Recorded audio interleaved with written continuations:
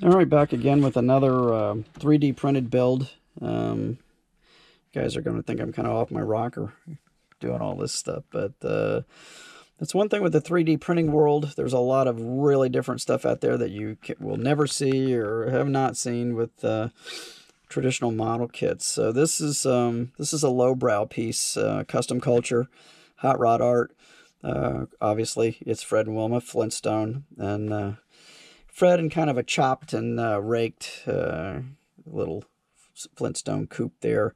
Uh, everything's 3D printed. Uh, I made the roof. Uh, the cloth part is just kind of a suede material that I we had laying around the house. I made that, but uh, the kit actually comes with everything else, the figures and the, the, the structure for the roof this is a really well done piece. Uh, I really had fun painting this. I, I, just made a simple base for it and sprayed it with some of that uh, textured um, paint that looks like concrete or rock in this case, bedrock.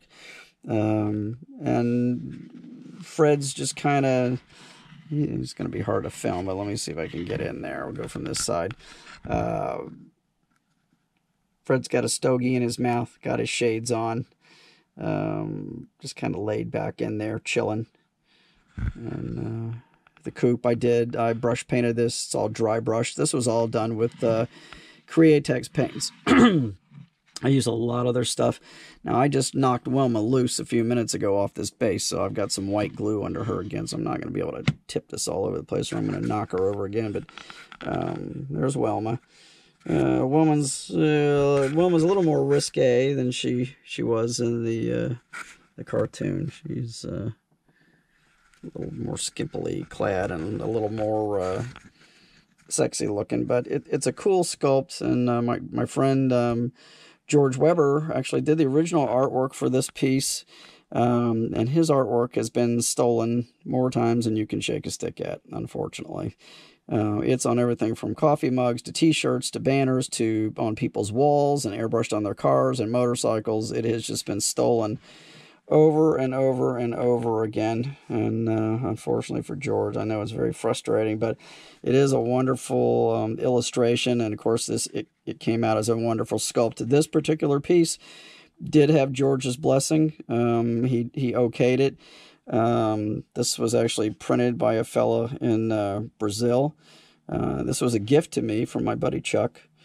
Um, this was a fairly expensive piece. I, I did not spend the money on this, but Chuck did. It was very gracious of him to pass this along to me. But uh, anyway, I just wanted you to see this. Uh, I, I, really like this piece. I think I'm going to build a, a background sign back here that says maybe something like Bedrock uh, dragway or something like that or uh, you know, i'm going to come up with something but i'm going to make it probably like uh, i'll do it out of sculpey and make the signposts out of bone or make them look like bones dinosaur bones and put a rock sign hanging on so it's still kind of a work in progress but uh, really like this this little little thing and uh, just wanted to share with you. So uh, i will see you again soon. Thanks for looking